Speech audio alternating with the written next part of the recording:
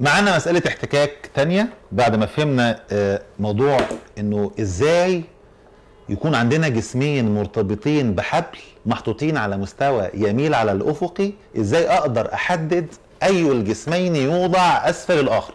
أظن دي خلاص قتلت بحثا وفهمناها. نرجع بقى لمسألة تانية من المسائل العادية. بتقول وضع جسم وزنه 8 جذر 3 ثقل كيلو جرام اتحط فين؟ على مستوى أفقي خشن. ثم أميل المستوى بالتدريج فأصبح الجسم على وشك الانزلاق تحت تأثير وزنه فقط. مع إنه ما قالش بس أنا فاهم. هو كان محطوط على مستوى أفقي كان وزنه 8 جذر 3 ثقل. ميلنا المستوى بالتدريج لحد ما أصبح الجسم على وشك الانزلاق. مفيش قوة خارجية مأثرة عليه يعني كأنه على وشك الانزلاق تحت تأثير وزنه. فقط في هذه الحالة أنا أقدر أستنتج وأثبتناها مع بعض في الفيديو اللي قبل ده إنه آه لما يكون على وشك الانزلاق تحت تأثير وزنه بس يفهم إنه زاوية الاحتكاك هتساوي زاوية ميل المستوى على الافقي ما دام قال لي في الحالة اللي فيها زاوية ميل المستوى على الافقي 30 أنا لوحدي كده أستنتج هتفرق معايا جدا في الحل؟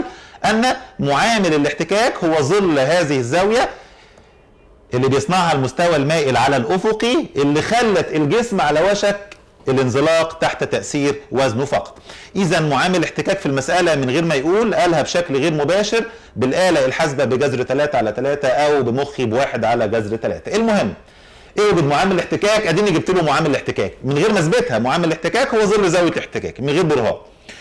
طب وعرفت منين إن زاوية الاحتكاك هي 30 لأنه كان على وشك. الانزلاق تحت تأثير وزنه فقط لما أميل المستوى على الأفقي بزاوية 30 الرسمة اللي هرسمها بقى في الحل. وإذا ربط الجسم عندئذ إيه عندئذ دي؟ لما كان يعني المستوى المائل يصنع زاوية 30 حلو. في خيط وشد الخيط. هنا بقى الكلام. يا ترى الخيط ده اتشد في اتجاه خط أكبر ميل للمستوى لا. مش زي المسائل اللي فاتت.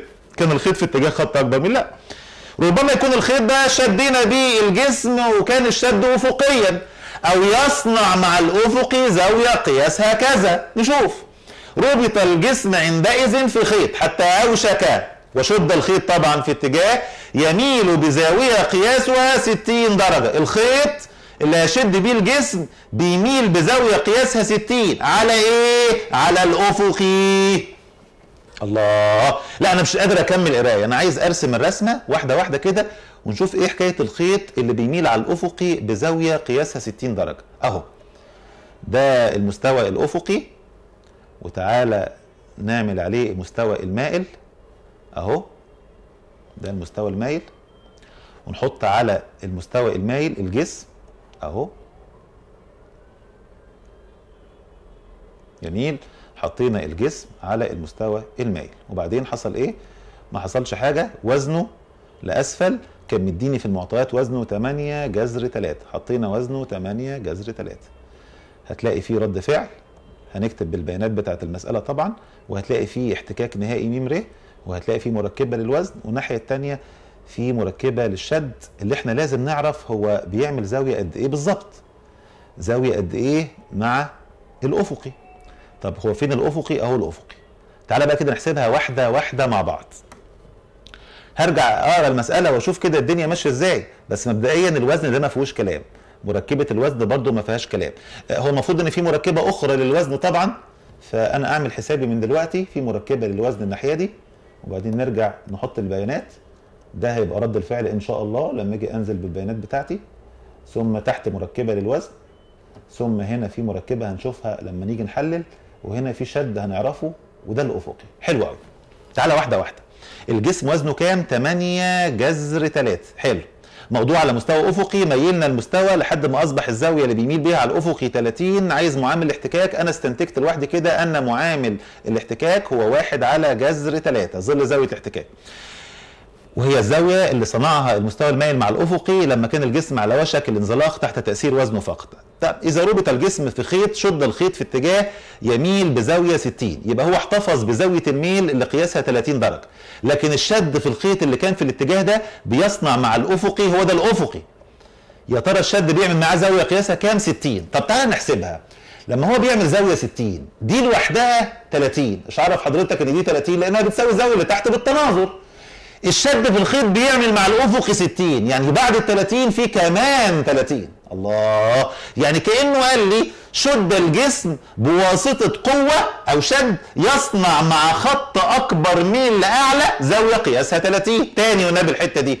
يصنع مع خط أكبر ميل لاعلى زاوية قياسها 30 كأنه بالظبط يصنع مع الافقي زاوية قياسها 60 واضحة قوي أهو. ولو إن الشد ده مش عاجبني مش مشكلة دلوقتي هنتصرف. لكن في رد فعل هنا وفي 8 جذر 3 جا 30 الناحية الثانية المركبة 8 جذر 3 جتا 30 والدوائر اللي انت عارفها دايرة حوالين ال 8 جذر 3 جا 30 ودايرة حوالين الر ودايرة حوالين الشين ولسه هنحلل الشين ونشوف دلوقتي هتروح فين وفين. ودايرة حوالين الوزن اللي already اتحلل وأخيرا دايرة حوالين ال 8 جذر 3 جتا 30 دلوقتي بدأت أفهم بس لسه شوية. لسه إيه؟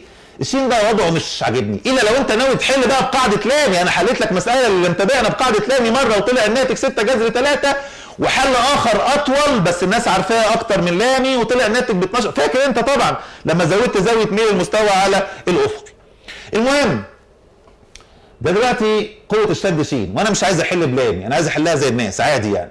فلازم أنا القوة اللي حالها مايل زي القوة شين لابد من إني أعدلها فأتخلص من الشين وأحللها إلى مركبتين. واحدة شين جتا 30 والثانيه شين جا 30 حلو. واحدة شين جتا والثانيه شين جا 30 بس كده؟ آه. الشين كده راحت. زي ما الثمانيه جذر 3 برضو راحت. نزل مكانها 8 جذر 3 جا 30 و8 جذر 3 جتا 30 لكن الموضوع كله متزن. مين اللي قال لك إنه متزن؟ هو قال. ارجع للمسألة وأنت تعرف. هو قال إيه؟ قال لما ميلت الجسم أصبح الشد ده عامل زاوية 60 والجسم أصبح موضوع على مستوى يميل بزاوية 30 حصل إيه؟ أوشك الجسم على الحركة الأعلى. يعني الجسم دلوقتي في اتجاه لحركته يا ترى فوق ولا تحت؟ لا فوق. مين اللي قال؟ هو اللي قال صراحة. اتجاه الحركة لأعلى. فأنا هعمل اتجاه الحركة عشان الراجل اللي بيصحح ما يتوهش مني وأبقى أنا بحل لنفسي. ده اسمه اتجاه الحركة. مش عايزين ننساه. عشان ما ارجعش اشتكي واقول ان أنا اتظلمت في التصحيح. اتجاه الحركة الأعلى لأن قوة الشد هنا فهو عايز يطلع فوق وما دام عايز يطلع فوق يبقى الناحية الثانية في حاجة بتعوقه عن الحركة الأعلى. هي احتكاك نهائي. الاحتكاك النهائي يعني كاف والكاف يعني ميم ر كلام لطيف قوي. فاضل بقى الإجابة. من الاتزان ينتج ان من الاتزان وكالعادة زيها زي كل المسائل ينتج ان يمين بيساوي شمال وفوق بيساوي تحت. قبل ما أكتب بقى على نظافة اليمين بيساوي الشمال يعني القوة اللي بتعمل في اتجاه خط أكبر من لأعلى ناحية اليمين تساوي القوة اللي بتعمل في اتجاه خط أكبر من لأسفل يعني ناحية الشمال. برضه مش فاهم يعني إيه. يعني ده قد ده. ش جتا 30 تساوي م ر زائد 8 جذر 3 جا 30 بس كده؟ لا. بما إن الجسم كمان متزن يبقى أكيد اللي فوق قد اللي تحت. يعني إيه اللي فوق قد اللي تحت؟ يعني ر زائد الشين جا 30 تساوي 8 جذر 3 جا 30 أنا كده خلصت. وهفتح صفحة جديدة وأقول له من الاتزان يمين بيساوي شمال مش عيب ابدا. يمين بالعكس يساوي شمال كمان فوق بيساوي تحت. وأنت فاهم يعني إيه يمين وشمال وفوق وتحت. يمين ش جتا 30 ونكتب بقى على طول. من الاتزان ينتج ان ش في جتا 30 بيساوي الباقي الناحية الثانية يعني م ر أنا مش بألف أنا بجيب من الرسم أهو. ش جتا 30 الناحية الثانية م ر زائد 8 جذر 3 جا 30 مفيش تقليل. زائد 8 جذر 3 في جا 30 طبعا المعادلة دي أنا ما أقدرش أتصرف فيها حاليا فأنا هسيبها مؤقتا وأسميها المعادلة رقم واحد. طب مش عايزين لها أخت؟ أكيد محتاجين أخت للمعادلة دي عشان نبدأ نحل المعادلتين دول مع بعض. طب مفيش حاجة تتعمل قبل ما نجيب أخت للمعادلة؟ والله الناحية دي في ش جتا 30 بجذر 3 على 2 معامل احتكاك بواحد على جذر 3 ممكن أنزل بيه من دلوقتي وممكن أجل النزول بعد شوية. والناحية الثانية 8 جذر 3 في جا 30 اللي هي نص أنا بس عايز أكتب المعادلة الثانية وبعد كده ربنا يحلها. المعادلة الثانية تيجي منين؟ من الرسمه فوق بيساوي تحت. يعني ر زائد ش جا 30 بيساوي 8 جذر 3 جا 30 واحدة واحدة مش بألف.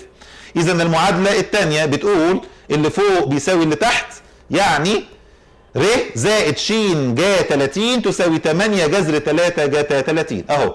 ش جا 30 زائد الر تساوي 8 جذر 3 جتا 30 كلام جميل جدا وزي ما عملنا المرة اللي فاتت هنعمل برواز شيك حوالين المعادلة. ونسميها رقم اتنين. وأي عيل صغير معلش يعني مش في ثالثه ثانوي يقدر يمسك المعادلتين الآنيتين دول ويحلهم مع بعض. نحلهم مع بعض كده واحدة واحدة. من المعادلة الأولى هعوض بالبيانات والأرقام اللي هو مديها لي في المعطيات. ش جتا 30 جتا 30 يعني جذر 3 على الاثنين في ش بيساوي معامل احتكاك كان مديهولي في المعطيات. أنا استنتجته بواحد على جذر 3 في الر تقلقش منها. زائد 8 جذر 3 في جا 30 جا 30 دي أصلا قيمتها نص. ف 8 جذر 3 في نص يعني 4 جذر 3 ده كلام جميل واستنتجت منه إن جذر 3 على 2 ش بيساوي 1 على جذر 3 ر زائد 4 جذر 3 مش بطال أحسن من الأول. وهي هي المعادلة الأولى بس عملت لها نيو لوك. فهسميها واحد شرطة. طب المعادلة اللي بعدها نلعب فيها شوية. آه تبقى ش في جا 30 جا 30 معروف طبعا إنها بنص. يبقى نص ش زائد الر مش قلقان. مش قلقان لسبب إن عندي المعادلة الأولى الخضراء فيها ش ور والثانيه خضراء وهيطلع فيها ش ور فأي حد ممكن يحلها. 8 جذر 3 في الجتا 30 يعني جذر 3 على الاثنين بعد الاختصار 2 راحت مع ال 8 فضل 4 وجذر 3 في جذر 3 يعني 3 كأن الطرف الأيسر كله على بعض بيساوي 12 ودي هسيبها وأسميها رقم 2 هي هي المعادلة 2 بس عملت لها شكل جديد فتبقى 2 شرط.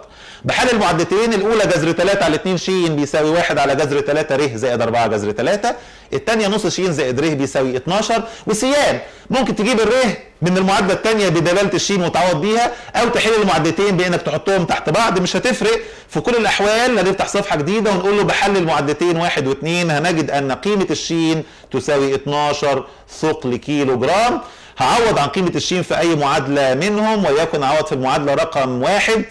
بعد ما عملت لها شكل جديد هنجد إنه قيمة الره بالتعويض تساوي 6 ثقل كيلو جرام. جبنا الشين ب 12 وجبنا الري ب 6 وما نرجعش بقى نسأل إحنا ليه بننقص؟ لأن إحنا ما قريناش المسألة كويس. وقال لي اوجد مقدار قوة الشد لله الحمد جبتها وبرهن على أن مقدار قوة الاحتكاك. فأنا لسه ما جبتش قوة الاحتكاك لكن من البيانات اللي طلعت قوة الاحتكاك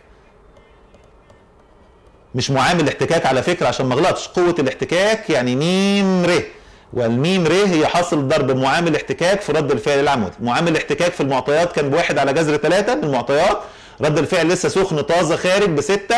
بدل ما اسيبها 6 على جذر 3 ممكن اضربها كمان في جذر 3 على جذر 3 بعد الاختصار دول 3 راح اتفضل 2 جذر 3 بقت المسائل بتاعت الاحتكاك سهلة طالما أنا فاهم يعني إيه معامل احتكاك ويعني إيه قوة احتكاك وإيه العلاقة بين زاوية الاحتكاك وزاوية ميل المستوى على الأفقي. لكن قبل ما أختم الفيديو ده أنا كان عندي في الجبر مسألة حليتها للي متابع يعني الفيديوهات بتاعت الجبر.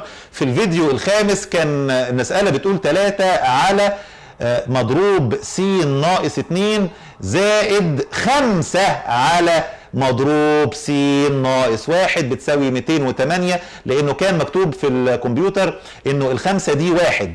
وعشان كانت الخمسة واحد لما جينا نشتغل وصلنا للمعادلة بتاعت 3 س موجودة في الفيديو الخامس. 3 س في س ناقص واحد زائد 5 س بيساوي 208 فلما جينا اشتغلنا المفروض إن الناتج يطلع 3 س تربيع ناقص 3 س زائد 5 س ب 208 لكن لما كان مكتوب الرقم واحد ما كانش فيه 5 س فبالتالي هو الصح إن الواحد دي خمسة. في السؤال نفسه ما كانتش واحد كانت خمسة ولذلك 3 س تربيع لما ألمها من الواضح إنه 5 س ناقص 3 س هتبقى 2 س ناقص 208 والباقي أنتوا عارفينه بقى هحلل المقدار الثلاثي. لكن بس أنا حبيت أقول علشان ما يبقاش فيه لخبطة في السؤال إنه السؤال مكتوب واحد هو ما كانش واحد هو خمسة وأنا حليت على انها خمسة. فالواحد ده ما كانش واحد في الفيديو الخامس في الجبر الواحد ده كان خمسة والمسألة موجودة في كتاب دليل التقويم.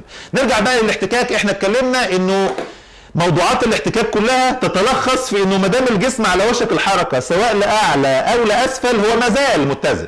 ومازال متزن معناها ان القوة ناحية اليمين قد شمال وفوق قد تحت اللي إحنا في الرياضة نقول عليها محصلة المركبات السينيه بصفر ومحصلة المركبات الصادية بصفر. مازال لسه عندنا مسائل وأفكار تانية على الاحتكاك بس أنا مطمن مبدئيا إن أنت تقدر دلوقتي تذاكر الاحتكاك على الأقل تقدر لوحدك تتعامل مع مسائل كتاب الوزارة. Thank you.